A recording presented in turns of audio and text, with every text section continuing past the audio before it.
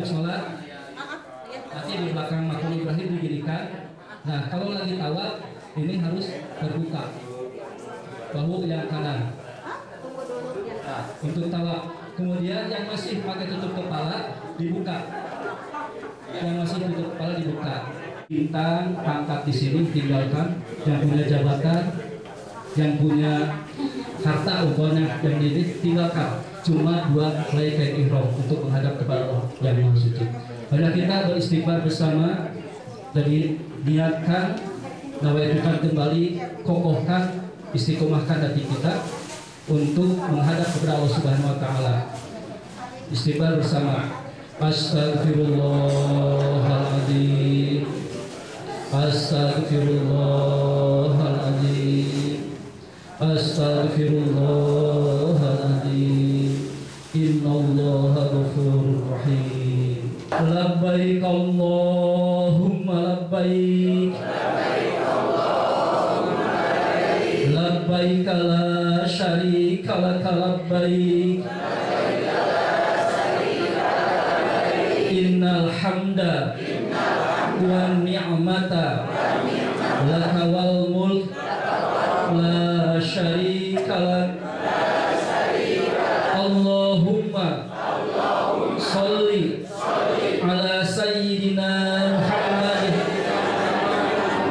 Wa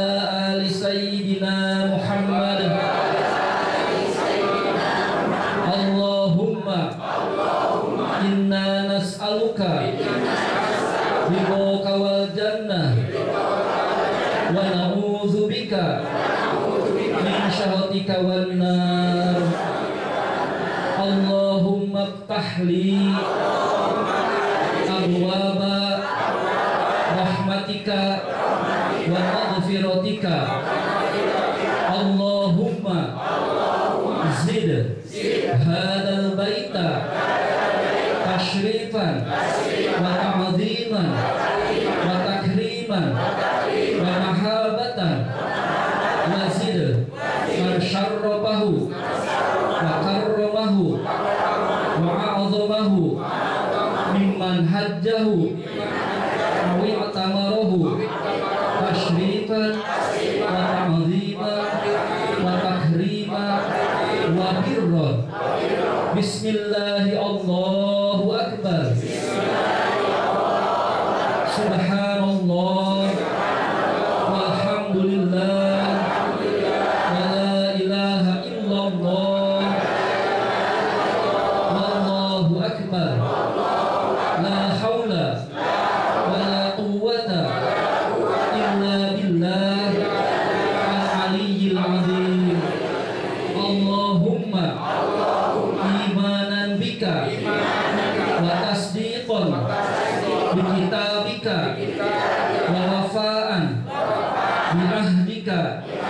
Wa ittibaan li sunnati nabiyyika Muhammadin sallallahu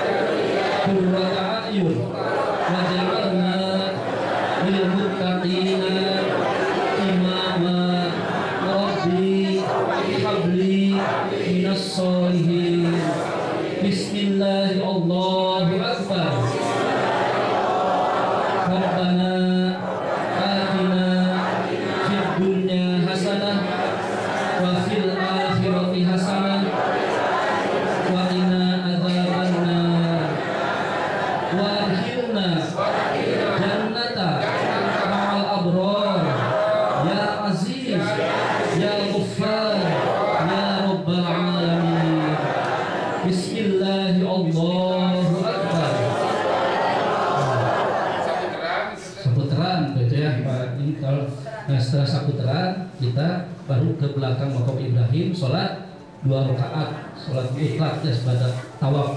Nah setelah itu berdoa dan sholat itu setelah al-fatihah baca surat al-kafirun. Dan al-paham kalau pak kata Pak Hari Mulyana kalau tidak hafal al-kafirun kuliah nah setelah itu baru menuju ke bukit masa untuk melaksanakan sa'i.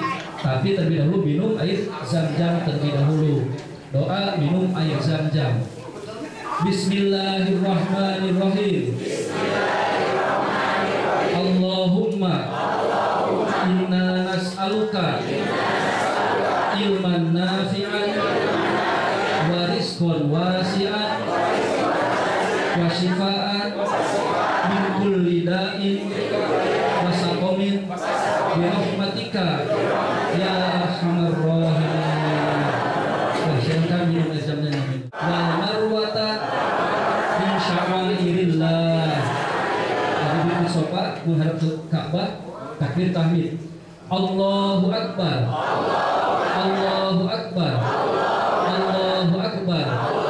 La ilaha illallah. Wahdahu la syarikalah.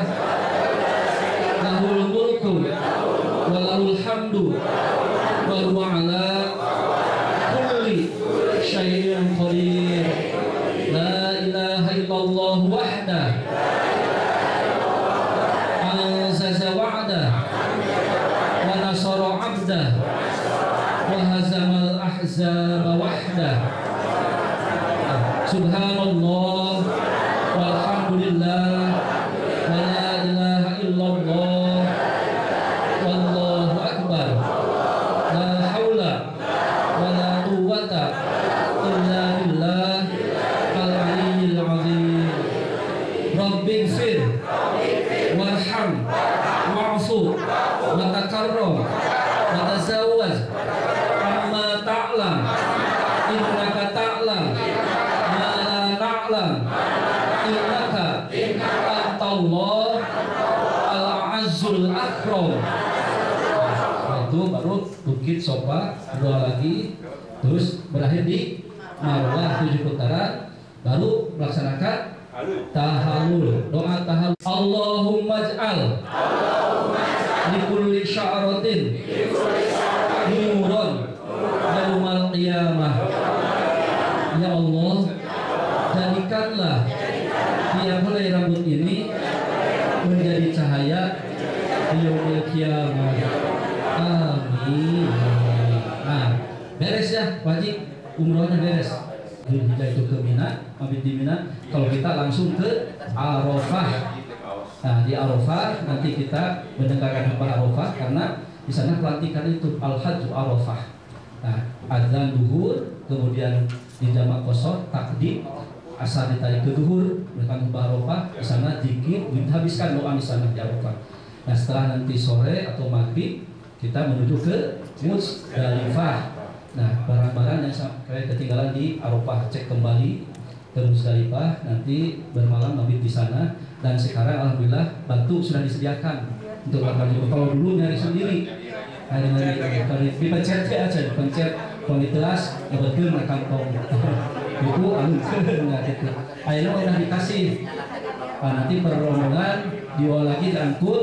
Ada yang sepertiga malam, ada yang setelah subuh berangkat ke Mina ke Mina tanggal 10 Zulhijjah untuk melempar jumroh Aqobah nanti di jadwal ya ada pagi bagian timur tengah kalau Indonesia itu Asia itu nanti siang atau sore jumroh Aqobah satu tujuh lemparan jadi yang ula musto dilewat. Tinggal Aqobah Bismillahirrahmanirrahim. Selamat misalnya Nah itu setelah jumroh Aqobah ada yang namanya haji itu tahun awal. Tahun awal ya. Itu setelah jumlah akobah gunting rambut. Nah setelah gunting rambut pulang lagi ke tenda ke Mina. Besok ya tanggal 11 Zulhijjah 7 ula 7 wusto dan 7 akobah dilempar Bismillahirrahmanirrahim wa bisyaratin wa nah itu 7 kemudian pulang lagi ke hotel besoknya tanggal 12 kalau kita nafar awal setelah melempar jumlah ula wusto akobah 77 pulang setelah melakukan itu ke Makkah untuk merasakan tawaf ifadah. Pak itu sehari ataupun bisa dua hari? ya? Dua hari sampai tiga hari. Ya, kalau misalnya akobah dulu bisa. Akobah Akobah awal tanggal 10 Dzulhijjah. Ya, awal aja. Ya, Ya, jadi baru nanti kedua. yang yang tiga besoknya tanggal 11 Dzulhijjah. Ya, gitu, betul. Besoknya besoknya yang tiga ya ula tujuh lemparan, usto tujuh lemparan, akobah tujuh lemparan. Besok tanggal 11 dan tanggal 11 umpamanya kalau ada yang mau tawaf ibadah silahkan tapi untuk pusdai nanti kompak tawaf ibadahnya setelah pulang ke Makkah 7 usto 7 akobah 7 ya 7 kali berapa 21 kali 2 42 dan tadi akobah 7 jadi 49 nah kalau napar awal cukup 49 kalau napar sani harus 70 jadi tanggal 13 umpamanya besoknya lagi kita melempar lagi. Gula 7 mustot 7 akobah 7 jadi 49 tambah 21 70 batu. Adapun nanti insya Allah musdai kita napar awal. Kenapa napar awal? Itu tidak apa-apa waman ta'ajala fi yaumin fala isma alaih waman ta'ahara fala isma alaih siapa yang menyegerakan hari itu dua hari tidak ada dosa dan yang mengakhirkan untuk napar sani itu tidak ada dosa jadi napar awal ada napar sani. Kalau napar awal plusnya itu umpamanya kita ke hotel lagi tuh jadi enak untuk mandi untuk segala macam. Kalau napar sani kadang-kadang ada yang toilet itu eh, antri-antrinya. Tapi kalau kalau umpamanya ah, karena banyak yang napar awal kita napar sani saja bisa agak longgar di Mina itu. Pak, tanggal 12 batasnya maghrib ya sebelum maghrib udah meninggalkan Mina ya? Ya. Awal. Sebelum maghrib udah Iya. meninggal. Kalau ke maghriban di Mina harus dilanjutkan. Harus dilanjutkan. Harus lanjutkan ya. Gitu pun umpamanya kalau nanti kita tawaf ifadah, umpamanya tanggal 10 atau tanggal 11 itu sebelum maghrib harus ada di posisi Mina. Kalau maghrib masih berada di posisi di tanah haram atau di Masjidil Haram itu kena dam karena posisi kita berada maghrib di Mina. Nah gitu kata Pak Haji kalau kita umpamanya ke di Mina dilanjutkan untuk nafar sani. Tidak boleh umpamanya setelah maghrib pulang ke Makkah. Nah itu setelah itu baru tawaf ifadah. Setelah beres tawaf ifadah, nah itu beres rangkaian haji. Jadi tawaf ifadah, sa'i dan tahalul. Itu ada tahalul sani untuk haji itu. Jadi kalau untuk tahalul awal, tahan dulu Bapak Ibu, tahan, tahan, tahan dulu ya. Jangan selalu berbarengan, berbarengan karena belum beres. Nanti setelah beres tahalul sani, disediain kamar barokah, insya Allah. Nah itu. Nah kalau kita baru apa tahalul awal, berhubungan resikonya itu harus menyembelih seekor uh, unta dan hajinya tidak sah. Dan hajinya tidak sah. Setelah beres baru kita bisa. Nah setelah itu baru nunggu untuk ke ke Madinah persiapan ke Madinah kalau ke rumah kedua ya sambutan dan juga arahan dari eh, Profesor Dr. Anda Hambali selaku Pimpinan Pusdai. Bismillahirrahmanirrahim. Assalamualaikum warahmatullahi wabarakatuh.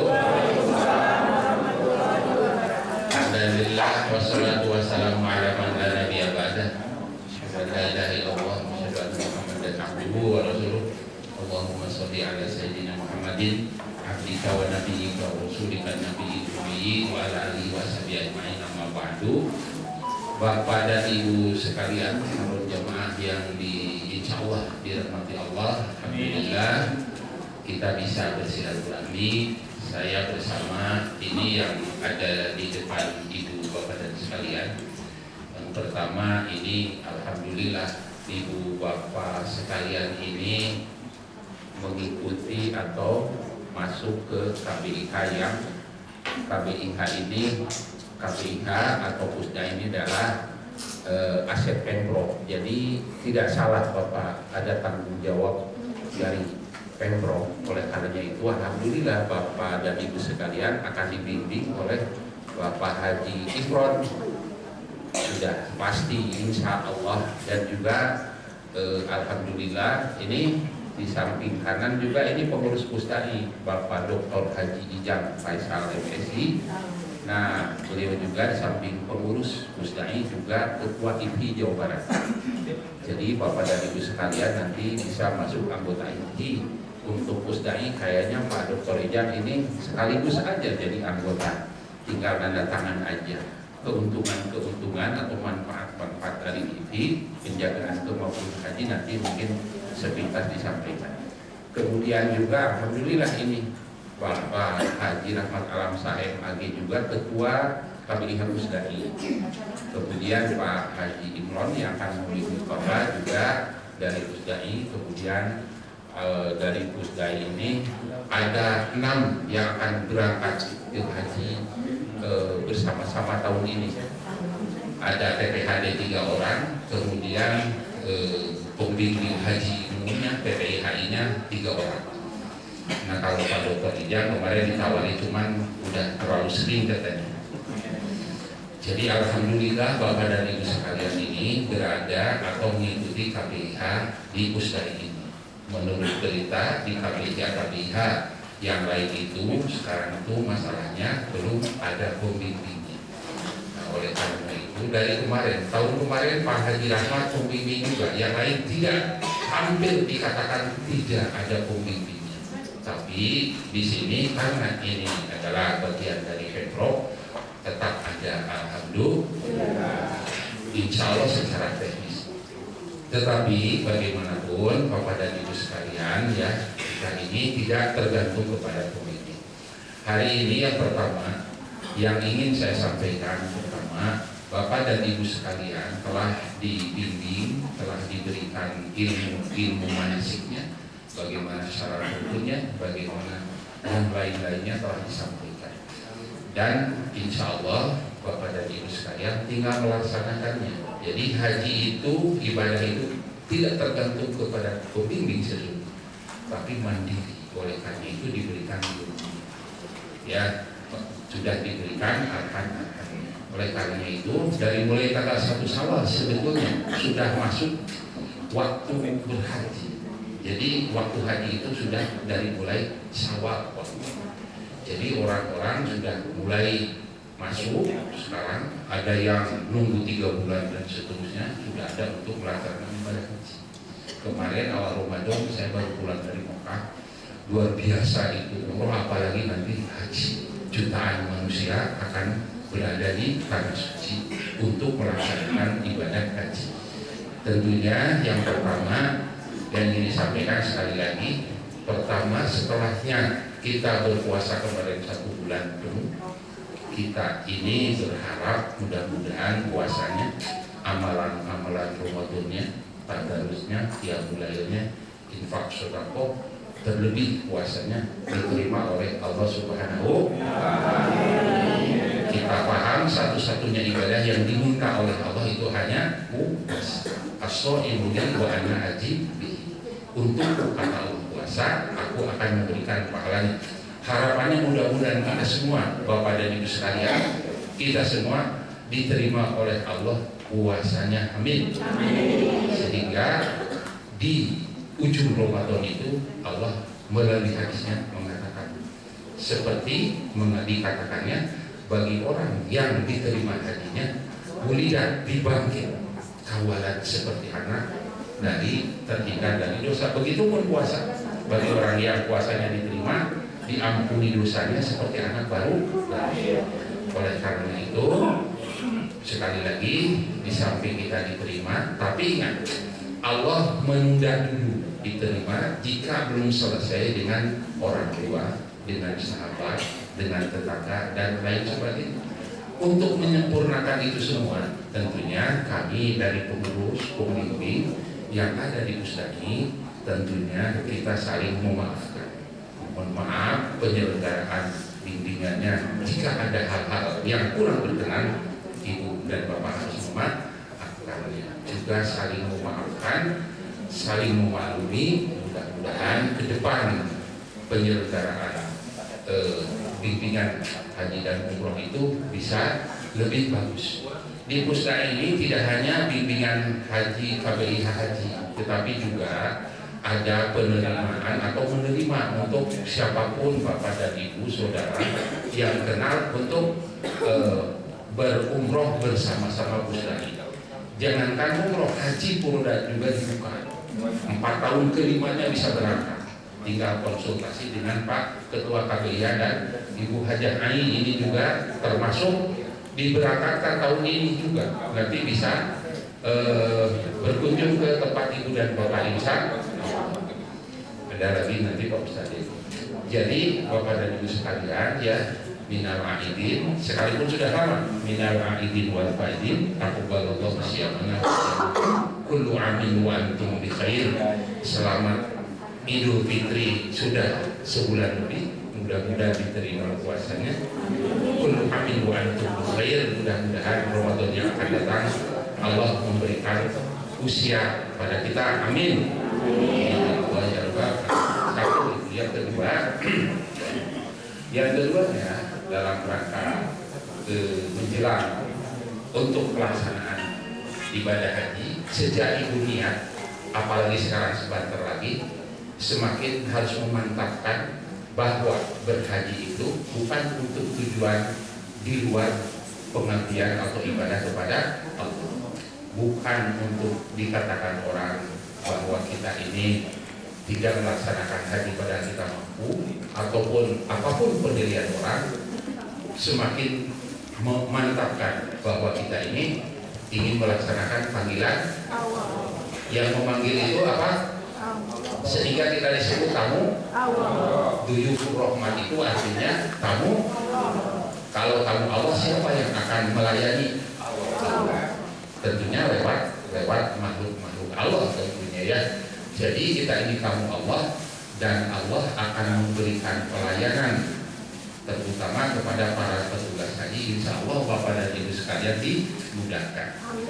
Ada jaminan masuk Masjidil Haram itu aminan Al-Quran siapa orang yang masuk Masjidil Haram itu aman. Insya Allah. Oleh karena itu mantapkan dan kemudian jangan sia-siakan waktu di sana ketika ibu berada di tanah haram baik itu di Madinah dan di Mekah jangan sia-siakan waktu. Untuk apa? Untuk beribadah. Selain melaksanakan ibadah haji. Oleh karena itu kata kuncinya sabar. Kata kuncinya adalah sabar mau ke Arafah ibu jutaan manusia coba. Mau ke Arafah padahal 7 kilo itu. Berangkat ke Arafah padahal 7 kilo. Bisa saja ada yang 6 jam 4 jam, 3 jam, bukan satu jam, dua jam. Karena krurit, karena macetnya itu.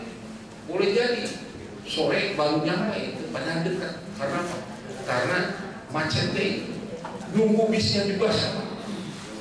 Nunggu bisnya juga sama. Lama nah di situ kata kuncinya sabar kalau sudah di Muzdalifah kalau taruh duli kalau pulang pergi sekarang begitu kan nah taruh duli jadi di drop kita ini ke Muzdalifah dari Muzdalifah untuk ke Mina itu kan nunggu mobil. Mobil itu kan ada kloter berapa kloter berapa. Jadi kata kuncinya adalah butuh kesabaran sabar menunggu mobil sabar menunggu jauh. Sabar untuk melontar. Apa pun sabar itu sangat dibutuh jadi kata kuncinya sabar. Innallaha ma'as sabirin Allah itu bersama-sama orang yang sabar. Jadi dari mulai sekarang sabar. Sabar. Nah nanti pulang dari sana insya Allah semakin sabar. Pertama eh, selamat selesainya ibu dan bapak eh, melaksanakan bimbingan manasik yang kedua mantapkan niat yang ketiga harus dimaklumi dimaafkan jika ada hal yang kurang berkenan di bapak dan ibu sekalian. Yang keempat doakan kami semua ya agar bisa melaksanakan amanah. Yang keenam doakan Pak Dr. Ijang calon wali kota Bandung. Bapak kan doa? Doa ya mudah-mudahan.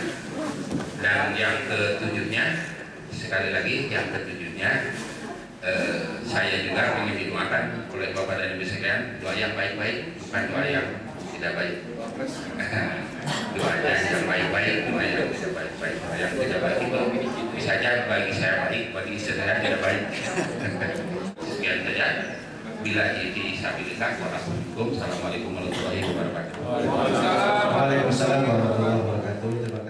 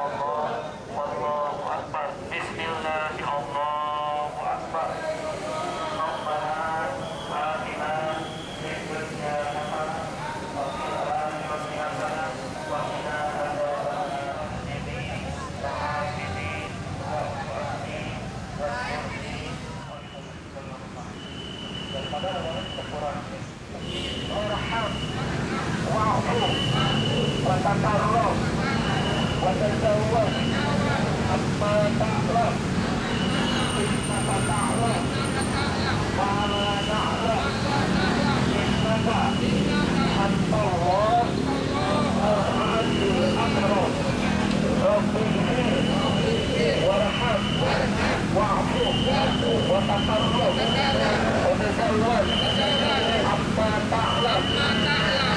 kataklah mala naklah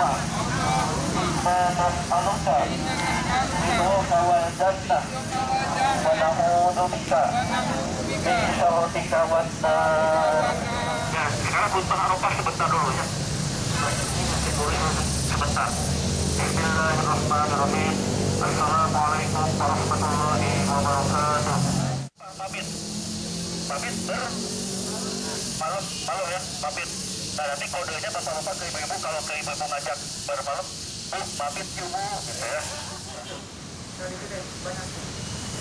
Allahu Akbar. Allah. Satu? Satu satu persiapan. Siapkan batunya. Siapkannya ibu-ibu 4 kilo satu jalan. Ya, kedua, yang kedua. Yang sebelah sini aja, jangan di sana. Sana padat, kedua. Di foto itu Ya, kedua. Bismillahirrahmanirrahim.